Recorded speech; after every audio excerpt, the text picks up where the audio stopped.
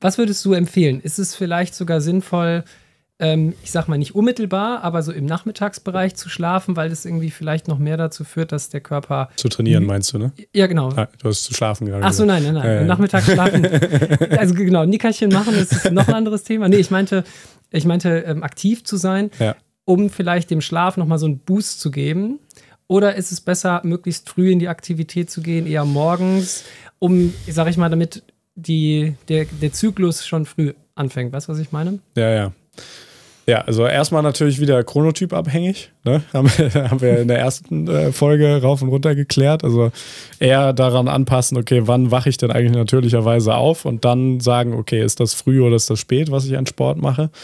Und dann ist es tendenziell schon wieder so, okay, ja, in den, in den frühen Aufwachstunden, ja, wird mein Rhythmus sich dadurch nach vorne verschieben. In den späten Abendstunden wird mein Rhythmus sich dadurch tendenziell nach hinten verschieben. Ähm, wenn es jetzt darum geht, was, was vielleicht zu besseren Trainingsanpassungen führt oder zu einer besseren langfristigen Stoffwechselgesundheit oder so, dann da gibt es jetzt gerade wirklich sehr viele Studien zu und es ist wirklich sehr, sehr schwer zu sagen, in welche Richtung das geht. Also jetzt gerade so im Bereich Typ 2 Diabetes, Übergewicht und so gibt es jetzt gerade eine ganze Bewegung, die schon dahin geht, wo viele Studien zeigen, okay, das, das Nachmittags-Abends-Training scheint effektiver zu sein, wenn es darum geht, Blutzucker zu senken, langfristig. Ähm, wenn es darum geht, Gewicht abzunehmen, langfristig, für die Leute, die schon Übergewicht haben. Ähm, wo e, echt so einzelne Studien zeigen, okay, das Morgenstraining hat zumindest auf den Blutzucker keinen messbaren Einfluss, wo man sich so fragt, okay, ja, das, das widerspricht irgendwie allem, was ich denken würde. Ich würde immer denken, Sportintervention ist gut für Blutzuckerregulation. Scheint nicht immer so zu sein, müssen aber auf jeden Fall noch mehr Studien gemacht werden. Wenn es dann dahin geht, für was jetzt vielleicht deine Hörer auch interessiert, die jetzt ähm, vielleicht eher Ausdauersport machen oder auch äh, Krafttraining oder Ballsportarten, was auch immer. Da müssen auf jeden Fall noch die, die Studien gemacht werden und da ist es noch total schwer zu sagen, ist jetzt zum Beispiel das Abendtraining effektiver, um die mitochondriale Biogenese zu steigern oder so. Ne? Was womöglich so ist. Ne? Das kann schon sein.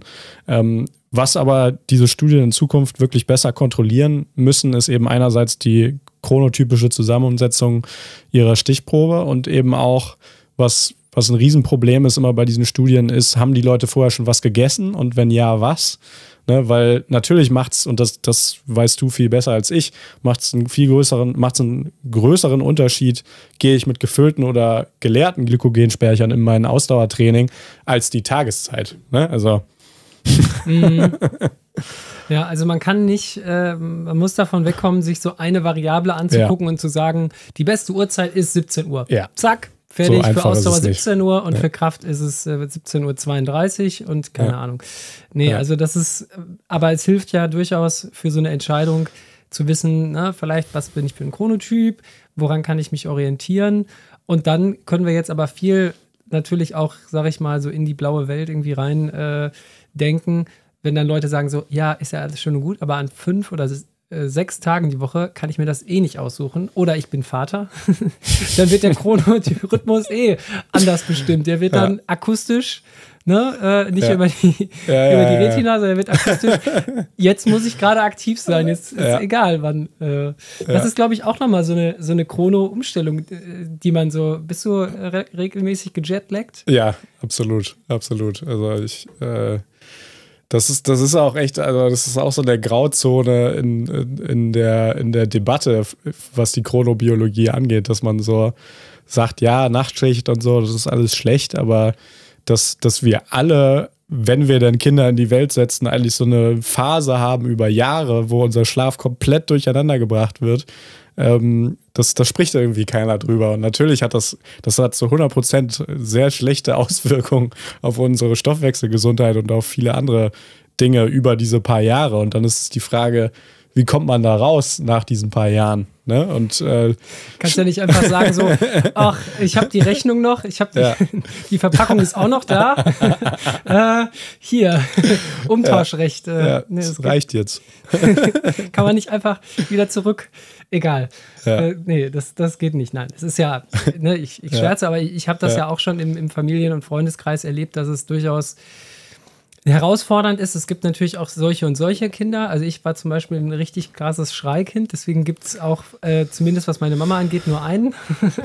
Die hat nach, nach meiner, meiner äh, nach der Phase gesagt, so, noch einen schaffe ich nicht. Und auch keinen Kontakt mehr. Gott sei Dank, Gott sei Dank schon. Aber nee, so, so schlimm war es dann nicht. Also der ja. haben die Hormone äh, wahrscheinlich äh, gesehen. Ja. Ähm, ja. Okay. Das heißt, bei Bewegung hast du ja gerade gesagt, gibt es jetzt nicht irgendwie die allgemeine Lösung, die man jetzt hat. Ähm, kann man bei Bewegung und Schlaf generell sagen, so als Tipp, nicht zu viele Wechsel, also einfach geregelte Zeit, also einigermaßen geregelte Zeiten. Wenn jetzt irgendwie, keine Ahnung, der, äh, wir waren jetzt irgendwie beim, beim, beim Surfen irgendwie draußen und haben dann irgendwie auch nochmal die Sterne uns angeguckt und das möchte man dann vielleicht irgendwie länger machen. Das soll jetzt, wir wollen jetzt ja auch nicht Leuten sagen, ihr müsst immer um elf ins Bett oder um zehn oder um so aber dass äh, das eher dafür spricht, geregeltere Zeiten zu haben, scheint für den Körper irgendwie besser, weil es antizipierbarer ist. Egal, ob es jetzt Mahlzeiten, Licht, Bewegung, Schlaf und so angeht. Regelmäßigkeit scheint da schon sinnvoll zu sein, oder? Ja, ja, die kurze Antwort ist ganz klar ja und die ist, denke ich, auch sehr unbeliebt, diese, diese Antwort, weil natürlich wollen wir alle am Wochenende das ein bisschen auf den Kopf stellen.